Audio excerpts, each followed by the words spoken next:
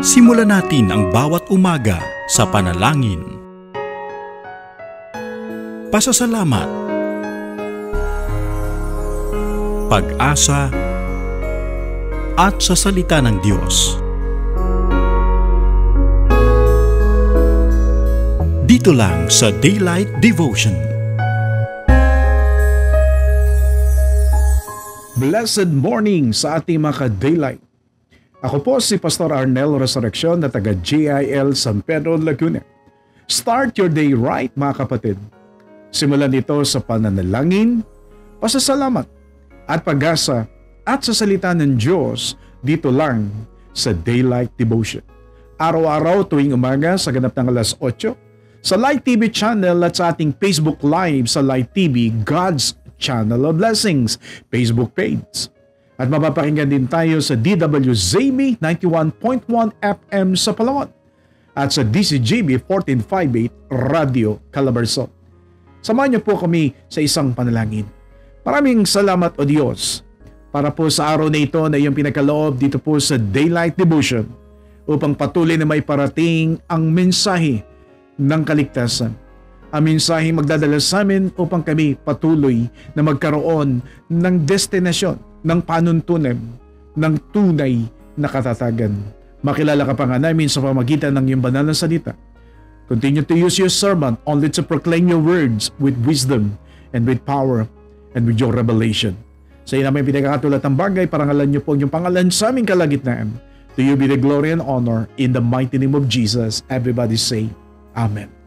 Magandang umaga po sa inyo pong lahat. Payagan niyo po ako magbahagi sa magitan ng 22 minutong sharing of God's Word for today. At ang napili po natin teksto na ating babasahin po ay sa Matthew 21 verse 28 to 31. Payagan niyo po akong basahin ang sabi niyo po rito ng Panginoon upang iparating ang kanyang mensahe sa bawat sa po sa atin. What do you think? There was a man who had two sons. And he went to the first and said, Son, son, go and work today in the vineyard. I will not, he answered. But later he changed his mind and went. Then the father went to the other son and said the same thing. And he answered, I will, sir. But he did not go. And verse 31 Which of the two what his father wanted? Which of the two did what his father wanted? The first, they answered. And Jesus said to them, I tell you the truth. The tax collectors and the prostitutes are entering the kingdom of God ahead of you. And may the Lord bless the reading of His Word. Alam niyo po mga minamahal po natin mga ka-daylight. Si Jesus Christ is a master teacher. Whenever He wanted to rebuke someone, hindi alam niya kung paano yung tamang approach Because in, in, in, in being as a human, pag tayo ay sinabihan ng harapan, na wala naman talaga tayong gaanong relasyon sa tao, the, the, the, the, the tendency is that they will fight back. Kaya dito ho ay uh, pinakikita ng Panginoon kung paano niyang ina-approach sa mga tao, kung paano silang matututo sa magitan ng salita ng Panginoon. Alam niyo po, binasa ko po yung before verse bago ho nasabi, ito pong Matthew 21, beginning verse 28, up to verse 31. Nakita natin yung unang ginawa ng Panginoon na mababasa po natin ay uh, pumunta si Yeso Kristo sa templo at siya po'y nag-observe. At nakita niya na ang bahay-sambahan ng ibis na maging bahay panalanginin ay ginawang bahay na kung saan yung pang mga priests at mga Levites ay ginawang business. Hindi masama ang business when it comes to business pero ito po ay nakita ng Panginoon marubdob ang kanyang puso na siya'y naggalit sapagkat uh, uh, ang, ang, ang na, na, defeat yung purpose why there is a church. Kaya makikita natin ang ginawa ng ating Panginoon ay pinagtataob niya ang mga table na nagpapalitan ng pera ng mga taong bumibili ng mga hayop para ihandog sa Diyos. Kaya dito natin makikita na talagang ang Panginoon ang gusto niya talaga ay yung tama, yung mismong kalooban ng Panginoon. At sa mga susunod na mga verses makikita po natin ang kanyang pinatutukoyan dito sapagkat ang kanyang kaharap ay ang mga priest, mga pariseo sa Saduseo, they know the truth. They were, they were the one who explaining truth to people. But the Lord is really, ano, nagagalit ang Panginoon because they were the one preaching the gospel, preaching the word of truth, but they are not doing it. It seems that they know the truth but they are not doing it. Kaya dito natin makikita na talagang ang Panginoon ay merong gustong iparating sa ating pinag-uusapan. Kaya makikita natin, ang kwento ho dito ay merong isang ama. The parable is that merong isang ama na inutusan niya kanyang dalawang anak para gawin ng isang bagay ang kanilang anihin sa kanilang bukirin ay dapat ang anihin. Ang kinausap pa yung panganay at ang sabi po ng verse na binasa po natin ay talagang uh, sinabi niyang pumunta at anihin. No? Pero ang sabi ng uh, uh, panganay, I will not. Pero mamaya na-convict siya at pumunta rin at ginawa ang pinag-uutos. Yung pangalawa namang anak ay inutusan din ng ama. Ang galing magsabing, opo, pero hindi naman pumunta at hindi sinunod ang kalooban ng kanyang ama. Kaya dito natin makikita, sabi niya sa verse 31, which of the two what his father wanted? Which of the two did what his father wanted? The first, they answered, maganda ang sagot. That's why Jesus said to them, I tell you the truth. The tax collectors and the prostitutes are entering the kingdom of God ahead of you. Para bagang sinasabi ng Panginoon, yung mga, ta- mga taong ito, the tax collectors and the prostitutes, they are sinners. But they obeyed. They heard. They listened. They obeyed. Kaya naman mas higit silang nauna sa kaharian ng Diyos kaysa ditong sa mga pariseyo at saduseyong they know the truth but they still do wrong. Kaya sa umagang ito, ipayagan niyo po ako na magbahagi ng salita ng Panginoon sa maikling oras na nais ko pong mag-iwan po sa atin ng mensahe, ng paalala. Gusto ko pong gamitin ang dalawang bagay. Kaya dito sa ating versikulong binasa ay nabanggit ang dalawang tao. Yung unang inutusan na sinabing hindi, pero mami ay umuo at sumunod. Yung pangalawa naman ay sumagot ng oo, pero hindi naman sumunod. Kaya dito natin makikita, naalala ko tuloy bigla mga kapatid, yung sinabi ng Biblia, ayaw ng Diyos ng mayamang mangangako tayo tapos hindi natin gagawin. Let your yes be yes and let your no be no. Katulad ng ating binasa po kanina, yung unang inutusan, nagsabing hindi. Pwede namang tumanggi talaga, di ba? Pero miya-miya na-convict siya sapagkat may relasyon siya sa ama niya ito at mahal niya ito, na-convict siya at sumunod at ginawa ang pinag-uutos bagamat sa una ay sinabing hindi. Mas maganda nga yung ganun eh. Kesa yung mga tayong oo katulad ng pangalawang anak tapos miya-miya naman ay tinamad at hindi ginawa. Ito ay simbolo lamang na hindi niya mahal ang kanyang magulang. Kaya nga sabi ng Bible, di ba? We must be the doers of the Word of God, not just only a listener.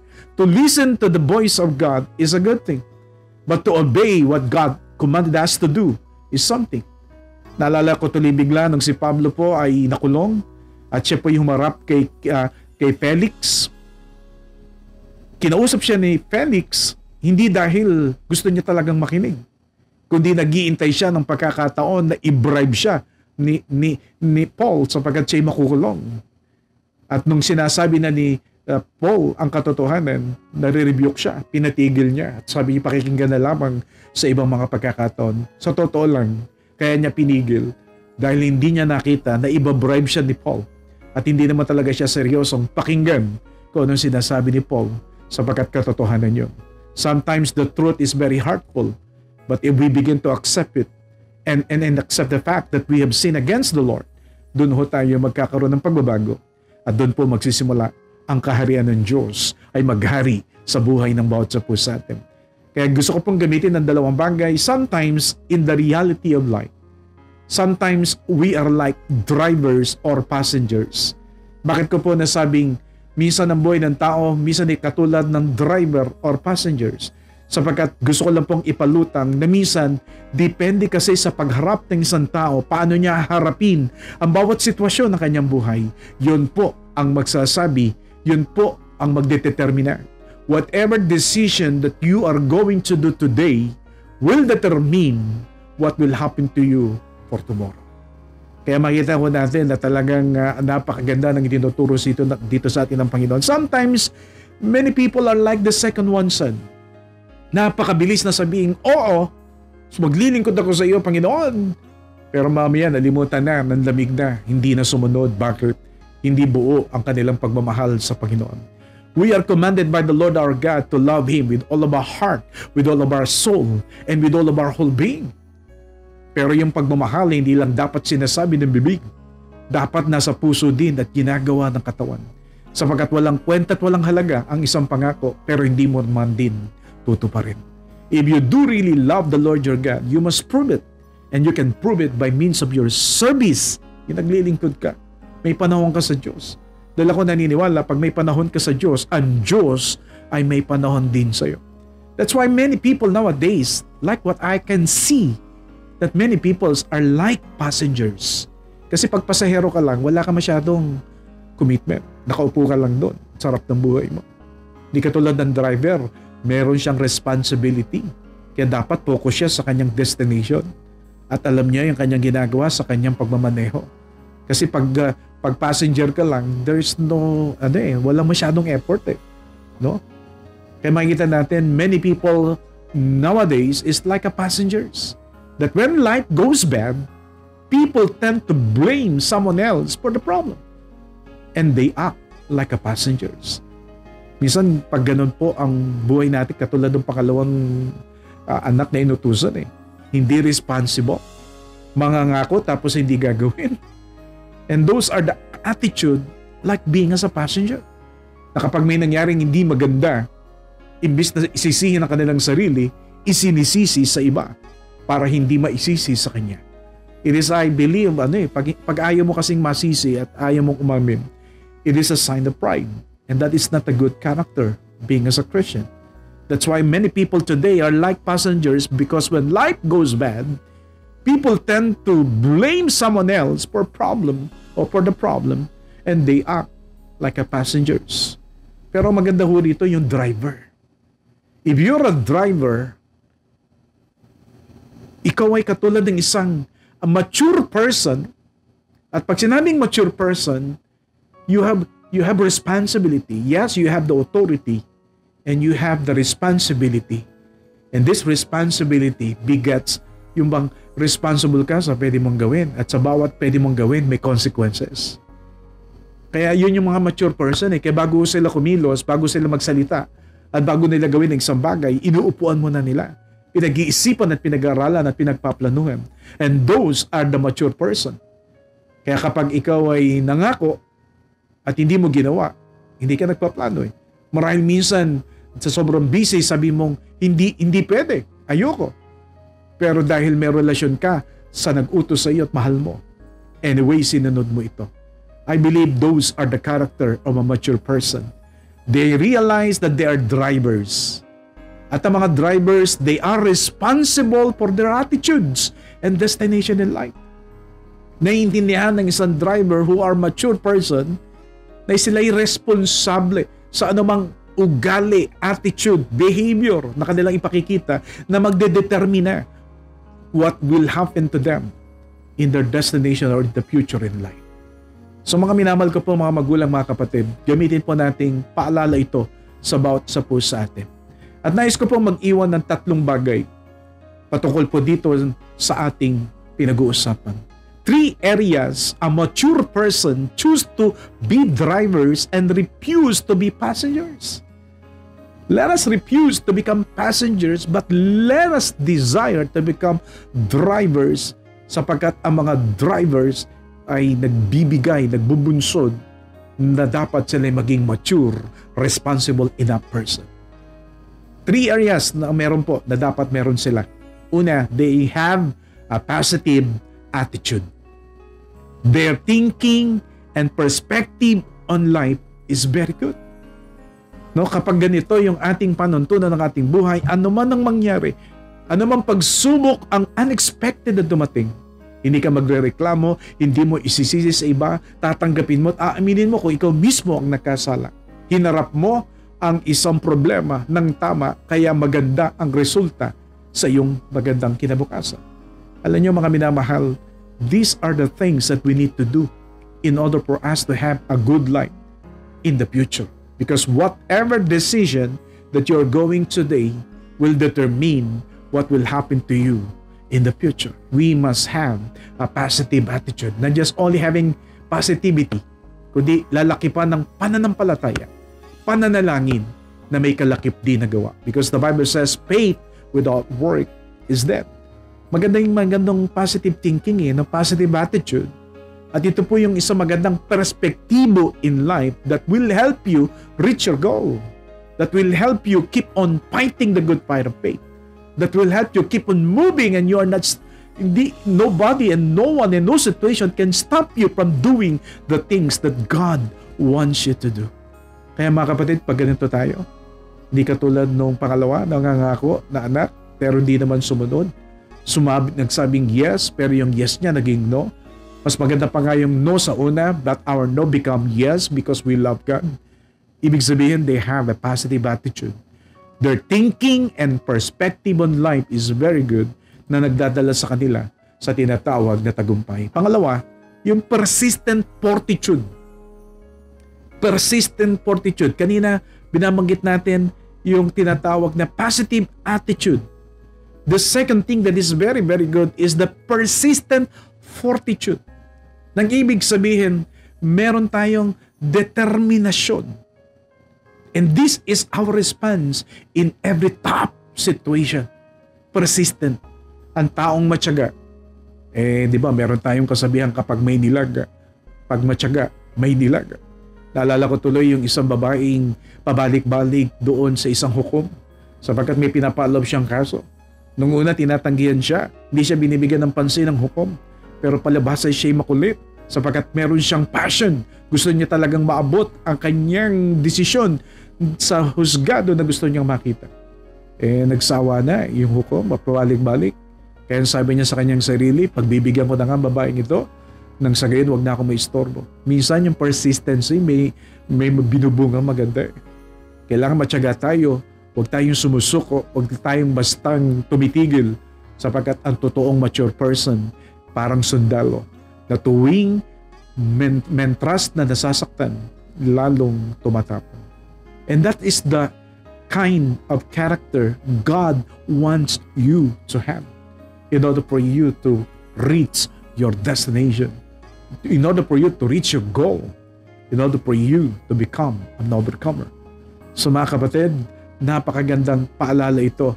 We must have a persistent fortitude that their determination in response to the top situation. And the last but not the least, three areas, is the pur- purposeful latitude. Pag sinabing purposeful, parang pinsa ng persistent. Pag sinabing purposeful, may, may puwersa, hindi ka lang matyaga, malakas pa loob mo. Kasi yung attitude is a good thing. Latitude naman ang pinag-uusapan dito. How do you see the end, the big picture? It talks about paano ka umangat, paano ka lumaki, paano ka mag-expand. Their flexibility based on a clear focus on the future direction. So maganda po ito mga kapatid. Pag meron tayong purposeful attitude, latitude, walang makakahadlang sa ating um, bagay na nanais natin maabot. Hindi dahil nagka-problema lang, nagkaroon lang ng failure, nagkaroon lang ng kapalpakan, ayaw na natin.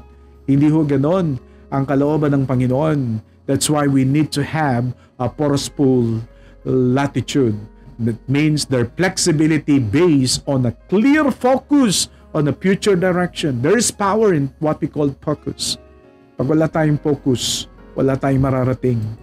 Kaya mga kapatid, people expect a mature person to be drivers, not passengers. Kaya sa oras na ito ay uh, nais ko lang pong iwan ang mensahe nito sa bawat sa sa atin. Are you a driver? Or are you a passenger? And there are three areas that we have learned a while ago talking about this. A mature person choose to be drivers and refuse to be passengers. And they have these three areas. And what is that? Number one is that they have a positive attitude because their thinking and perspective on life is very good. Number two, they have a, what we call persist, persistent fortitude. That it means the determination in response to a top situation. And last but not the least, They have purposeful, purposeful latitude. Their flexibility, flexible sila. Based on a clear focus on future direction. Kaya mga minamahal ko po mga magulang mga kapatid, if you wanna reach a goal, if you wanna finish a task, kung gusto mo magkaroon ng good life, you must have all of this. Because people expect a mature person to be a drivers, not a passengers. Tayo po yung manalangin.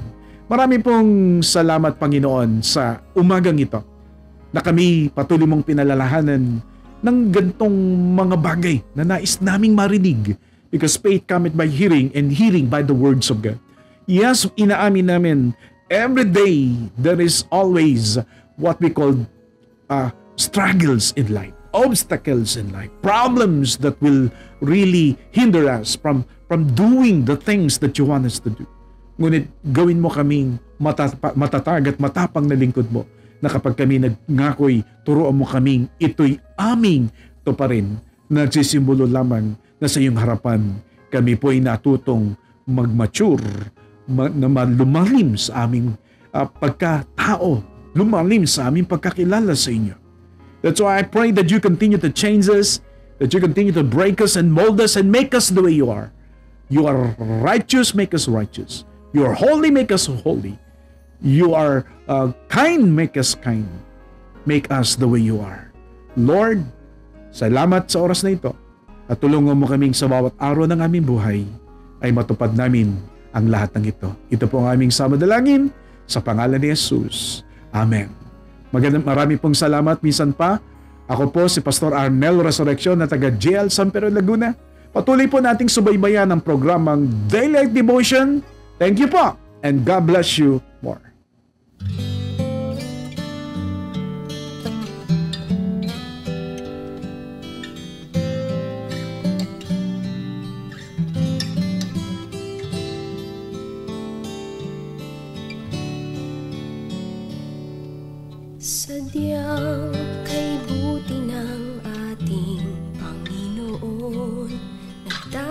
Nagtatapat sa habang panahon. Maging sa kabila ng ating pagkukulang Biyaya niya'y patuloy na laan. Katulad ng pagsinag ng gintong araw Patuloy siyang nagbibigay tanglaw Kaya sa puso ko't damdamin Katapatan niya'y aking pupurihin. Dakila ka, O Diyos, tapat kang ang tunay. Magmula pa sa ugat ng aming lahi. Mundo'y magunaw man, maaasahan kang lagi Maging hanggang wakas nitong buhay.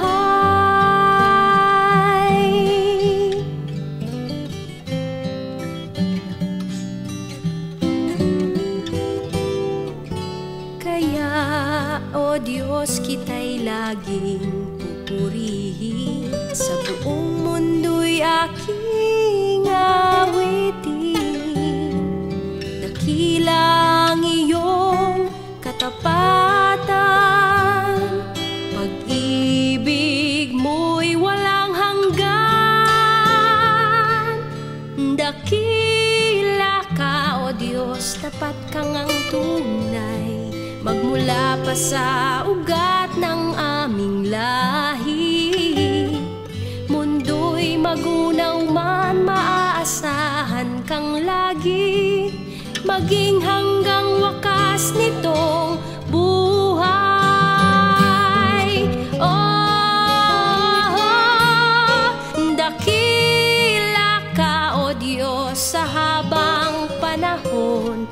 Katapatan mo'y matibay na sandigan. Sa bawat pighati, tagumpay man ay naroon. Daluyan ang pag-asa kung kailangan hinahon. Pag-ibig mo'y alay sa amin noon